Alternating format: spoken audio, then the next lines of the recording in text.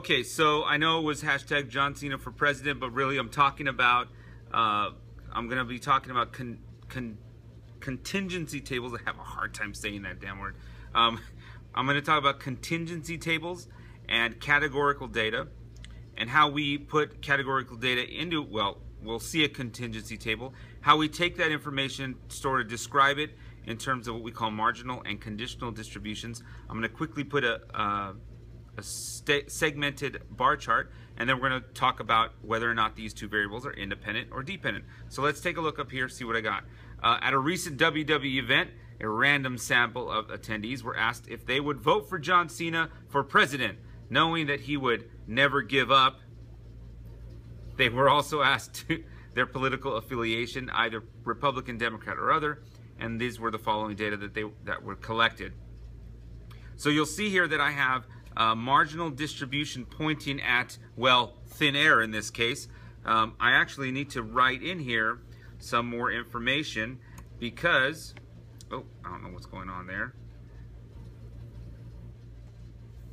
Why is my pen pink? I don't know.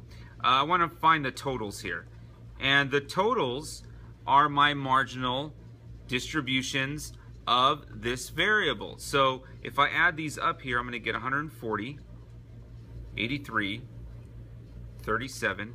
So these numbers here are my marginal distribution of political party. 140 of the people were Republican, 83 were Democrat, 37 were other. And then my yes and no's, 235 and 25. Okay. We're at a WWE event, right? So, you know, 235 people saying yes. People must like John Cena there. Um, so our marginal distribution of supporting John Cena, because that's our variable, is 235, and for no is 25. So my grand total, which is not part of my marginal distribution, is 260. So my marginal distribution, you can think of it as margins. So we're talking about the margin, the total here and the totals there. Um, if I wanted a relative marginal distribution, we have to think about what does relative mean again in statistics. Relative means percentages. Okay, so we want the percentage. So what we do is we do 140 divided by 260, and then we find the marginal percentage there, which I forgot to do in my calculator. 140 divided by 260 will give us a percentage of 53.8%. So for this, for purpose of this, I'm going to round up. So 54%, 83 divided by 260 is 32%. And then 54, we're just going to go and subtract. 54 plus 32 minus 100 is 14%. Don't worry about that negative. That's just because I subtracted backwards. Okay, so this right here is the relative marginal distribution of political party. If we wanted to do the bottom ones here, we would do the same thing. So 235 divided by 260, we get 90%. Man, is he popular. 90% um, and 10% are the marginal distributions of supporting John Cena for president. Okay, so how would we write this? Well, if we if I was asked for um, describe the marginal distribution of supporting John Cena for president, I would say 90% of of um, the people, 90% um, were yes, they would support John Cena, and 10% said no, they would not support John Cena. Um, if I wanted the marginal distribution of political party, I would say that 54% are were Republican, 32% of the population there or of the sample was Democrat, and 14% of the sample were other, some other political party that they didn't ask for. So we've got, um, those are called the marginal distribution. Now, suppose we wanted to draw a, a uh, stacked bar chart for these. So I'm going to go and draw a stacked bar chart. So I'm going to draw my line here, line here, And I'm going to want the bottom here to be, we'll go yes votes and no. So the bottom here is supporting John Cena. Do you support John Cena for president? Never give up. Rise above hate. What other taglines can I? You can't see me. Okay. Um, this is going to be relative frequency. And I'll go by tens. 90, 100. So for a stack bar chart, they're going to be, oops, didn't want that. They're going to be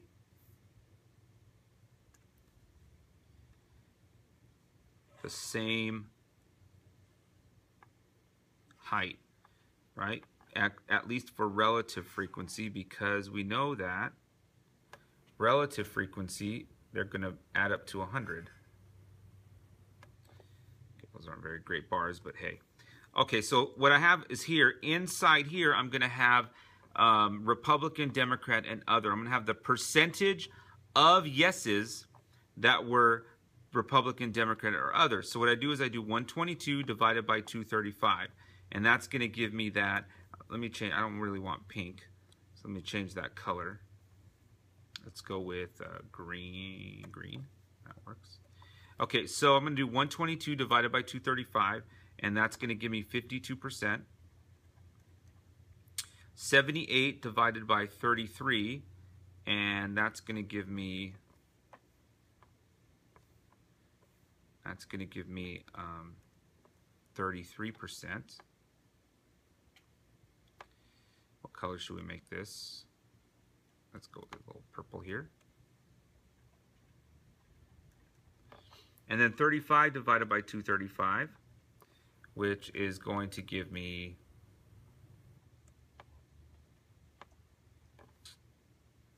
Well, that didn't like that color. I don't really want to waste time here. It's going to give me 15%. Okay, and so I'm going to do the same thing here for these. Uh, 2 is going to give me 8%. So what I'm going to do here, uh, after I label these, is I'm going to get, oh, what color did I, I forgot what color was right here. Okay. Um, I'm going to go down to my bar chart and put that many percentages in my bar chart. What was it? It was green. There we go. And that was 70, I believe it's 72%. Okay, so let's go and start this out. So in for the yes votes, is they were Republicans, 52% were Republican, okay? 10, 20, 30, 40, 50. that's about right here. Okay, so these were Republican, green,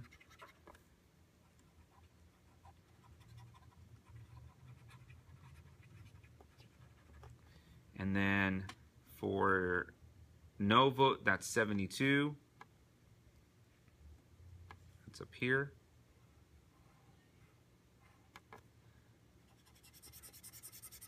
Okay, what about yes votes? That would be Daniel Bryan, if you, if you know. That's a WWE joke if you're a WWE fan. 33. So 33 more of 52. That would give me at 80, uh, 85, right? So 7, let's see. 10, 20, 30, 40, 50, 60, 70, 85. These are Democrats. 20 more percent would give me a 92. Democrats. And then finally, I have my other group. There we go. Okay, so what are these values here? These values here are called conditional distribution. All right, this is the conditional distribution of yes votes, of yes support John Cena. So a conditional distribution is actually, it's not marginal. So marginal has to do with totals. Conditional has to do with one of the categories within a variable. So what you're doing is you're taking the percentage of each of the categories in one variable and seeing how those are with one category in the other variable, and that's the conditional distribution. So if I asked for the conditional distribution of yes supporters for John Cena for president, you would say 52% of the yes votes were Republican, 33% of the yes votes were Democrats, and 15% of the yes votes were other. And those correspond to exactly what goes in our stacked bar chart. So in our stacked bar chart are conditional distributions. What we can do with those conditional distributions is compare across the conditional distributions and talk about whether or not supporting John Cena for president is associated with the political party that they're from. And what we would notice is that if these were the same, if the bars went like right at the or near the same level, then that would mean that it didn't matter if you supported him or not. Your political party was, you know, about the same. Basically, what I'm saying is it doesn't matter what political party you are. You're probably either not going to vote for John Cena or you are. Um, the problem here for our example is that there there is different. There are differences here. Um, in fact, you're more likely to be Republican in the, in this case in our sample. They're more likely to be Republican if they said no than they are to be uh, Republican and say yes. Now Democrats were kind of close, even though you see that they kind of they're kind of small together. Like this is 15, that's eight. This 33, that's 20. There's still kind of a big gap. That's you know that's a 20% difference. That that's a pretty big difference. Now later on we'll talk about whether or not that is actually a significant difference. But for our point now, this does look like there is some sort of association between whether or not you're uh, going to vote or you would support John Cena and what party you're in. So in this case, we would say that supporting John Cena for president and your political party are dependent variables.